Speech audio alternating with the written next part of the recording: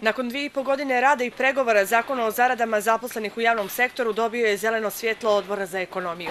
Ministar financija Radoj Žugić kaže da se radi o zakonu koji prije svega treba da riješi pitanje zarada i javnih funkcionera. Na ovaj način ćemo jako dobro znati ko, koliko i na koji način prima zarade, bez, ponavljam, dopunskih zarada koje su krivile sliku onoga što je bilo u prethodnom periodu. Najviše primjedbi na zakon imali su iz Unije poslodavaca. Poslodavci traže da se iz ovog zakona izuzmu privredna društva, jer će njegova rješenja navodno biti u koliziji sa Ustavom i drugim zakonima.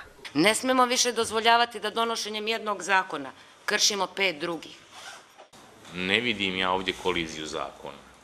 Sad smo imali zakonodavni odbor, prošli kroz ove norme, nema sugestija, nema primjedbi. Član Unije poslodavaca, inače direktor Cetinskog vodovoda Miloš Ražnatović, ljudi se što zakon ne predviđa iste aršine i za državu i za lokalne samouprave. Ako ta država, to jeste vi kao njen glavni rizničar, ne ostvari pozitivne rezultate, da svi treba solidarno da, da, da, da, da, da odgovaramo da im se smanje zarade. Vi obavežite nadležne organe u vladi da ostvare plan javnih prihoda kod donošenja budžeta. Pa ako se ne ostvari, tražite odgovornost. Ali ne i da samostalno kreirate zarade nezavisno od javnih prihoda.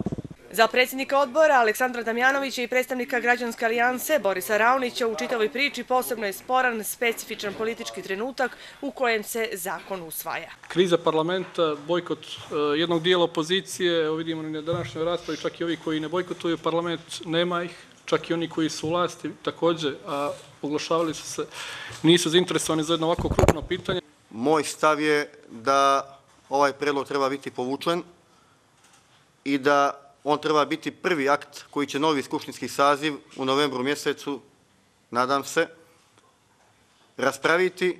Osim Damjanovića u raspravu su uključio samo poslanik pozitivne Goran Tuponja, kojeg je zanimalo da li će s ovim zakonom nekome smanjiti zarade u javnom sektoru i koliko će državu koštati njegovo donošenje. Ovaj zakon neće smanjiti zarade, niti će trošak u donošenju ovog zakona biti 10 miliona eura.